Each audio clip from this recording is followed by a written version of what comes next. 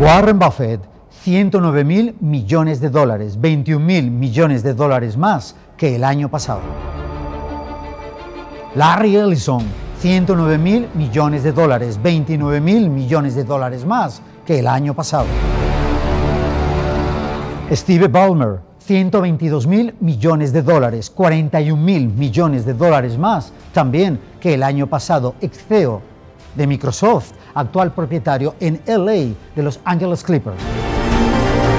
Sergey Brin, 125 mil millones de dólares, 25 mil millones de dólares más que el año pasado, cofundador de Google. Mark Zuckerberg, 128 mil millones de dólares, 24 mil millones de dólares más que el año pasado, magnate de las redes sociales. Larry Page, 137 mil millones de dólares, 47 mil millones de dólares más, cofundador de Google. Bill Gates, fundador de Microsoft, 139 mil millones de dólares, 7 mil millones de dólares más también que el año pasado.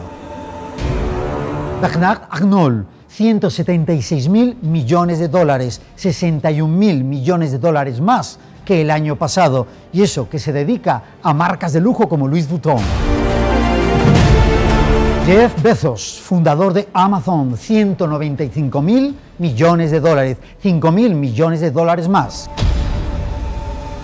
Y en el número uno, Elon Musk, el hombre más rico del mundo, 277 mil millones de dólares, 121 mil millones de dólares más que el año pasado para el cofundador de SpaceX y, como no, el CEO de Tesla Motors.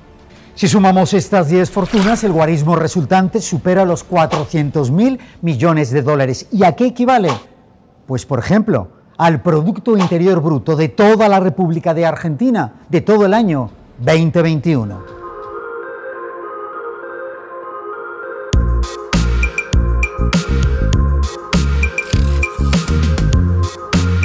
El vídeo de hoy lo comenzamos traduciendo literalmente blockchain, que significa cadena de bloques. Pero, ¿qué es esta cadena de bloques? Voy a poner un ejemplo. Imaginemos que contraigo una deuda, raro me parece, con Tomeu y tengo que abonarle 500 euros, el máximo que me permite Bizum. Y me dice, oye, hazme un Bizum. Sí, sí, yo te lo hago, Tomeu, pero hay un intermediario que es el banco. ¿Y el banco qué hace realmente? Simplemente utilizar unos códigos, unos números, ¿para qué?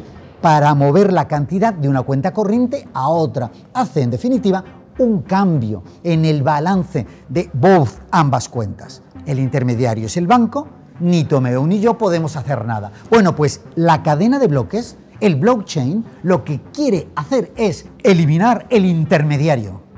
Objetivo, por tanto, descentralizar las gestiones, que el control del proceso pase a manos de nosotros, de los usuarios.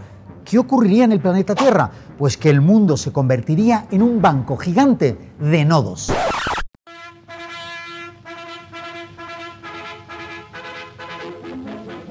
Nodo en informática y en telecomunicaciones es un punto de intersección, conexión o unión de varios elementos que confluyen en el mismo lugar.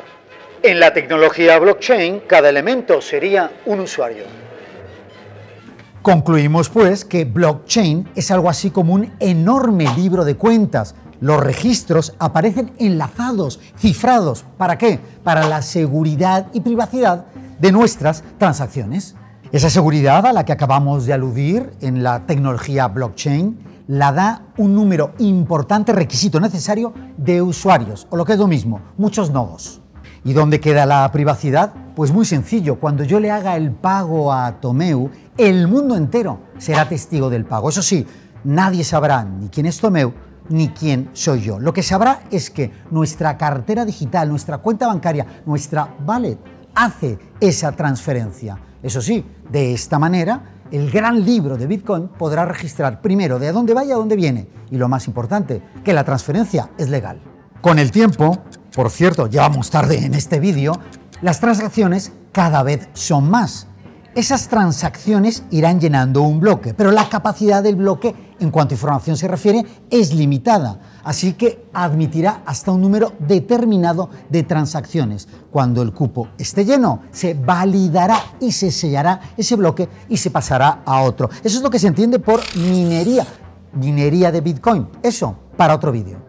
El primer caso de uso que a todos nos viene a la cabeza cuando hablamos de blockchain son los criptoactivos. Pero este es solo el principio. Fíjense, la tecnología podría repercutir de aquí al 2030 en el PIB, por ejemplo, del Reino de España en 24 mil millones de dólares. Y si hablamos de la tecnología blockchain, a nivel mundial para ese mismo año 2030 estaríamos hablando de 1,7 billones de dólares. Una revolución que sin duda va a cambiar nuestra forma de vida.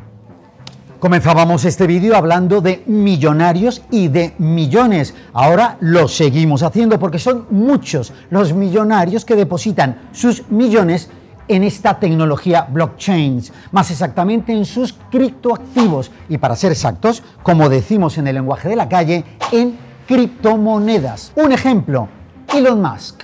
Elon Musk, más conocido como Elon, no se esconde, no se esconde ni siquiera en las redes sociales verán, lanza un tweet y sube el pan. No, perdón, perdón, perdón. Manda un tweet y lo que sube es el Bitcoin. Tiene Bitcoin. Tiene Dogecoin. Sí, sí. La moneda del perrito, la que inventó él. Y tiene, por ejemplo, Ethereum. Dogecoin, el perrito, ¿cómo quiso promocionar la moneda? ¿Cómo quiso elevar la moneda? Salió en la tele y dijo, yo voy a un McDonald's compro un Happy Meal y si me lo dejan pagar con Dogecoin, eso sí, sus coches no, sus coches no se pueden comprar con Dogecoin, pero el Happy Meal sí, me comprometo a salir en el programa de mayor audiencia de USA comiéndome un Happy Meal, siempre que me dejen pagar ese Happy Meal en un McDonald's al que yo vaya con mi monedita del perro, con el Dogecoin. ¿Y qué ha pasado con la moneda? Pues que a día de hoy ha salido del top 10 la moneda ha caído en lo que llevamos de año, bueno, exactamente en los últimos seis meses, un 52%. Pero quédense con el dato. Elon, Elon Musk, apuesta por los criptoactivos y más especialmente por las criptomonedas. Recuerdan este vídeo, justicia para la cripto rate, la Bitcoin, una moneda que con el conflicto que ha surgido en suelo ucraniano, además de las sanciones impuestas a Rusia, se ha revalorizado. Nos situamos un poco en los guarismos, en el contexto. Cuando hacíamos ese vídeo, les hablábamos de un mínimo en 35 mil dólares tocó un máximo, venía de 68 mil dólares. Ha roto recientemente, por ese motivo que acabo de aludir, los 40 mil dólares, situándose a día de hoy aproximadamente en 43 mil dólares. Sin duda, el Bitcoin es la cripto rey en cuanto a criptomonedas se refiere. Ese dato trascendental para el Bitcoin que haya roto en este entorno de incertidumbre los 40 mil dólares para situarse tranquilamente y respirar en 43 mil dólares nos hace ver que el Bitcoin en momentos de incertidumbre puede ser un buen valor refugio, no solo en momentos bélicos, sino también cuando hay una posible recesión. Se mantiene y no solo se mantiene, sino incluso su valor se aprecia. Por contra, en este caso, lo que tiene es su alta volatilidad, lo que le resta puntos en cuanto a valor refugio. Eso sí, con la guerra estamos comprobando que el Bitcoin puede desempeñar un excelente papel de cobertura contra el riesgo político, como lo hace, por ejemplo, el zumo de los dinosaurios, el petróleo. Las opciones de refugio seguro más tradicionales tampoco están disponibles para los ciudadanos, para las almas de Rusia y Ucrania. Así que dicho todo esto, conflicto incluido, el Bitcoin está disponible para quien quiera, cuando quiera, a una simple llamada de teléfono. Teléfono que seguro utilizó Volodymyr Oleskandrovich Zelensky para llamar a su ministro de Economía y Finanzas y decirle que las criptomonedas queden legalizadas en suelo ucraniano. Resultado, pues según hemos visto en France 24, la recaudación como donaciones para ayudar a los ucranianos en la guerra asciende a más de 110 millones de dólares.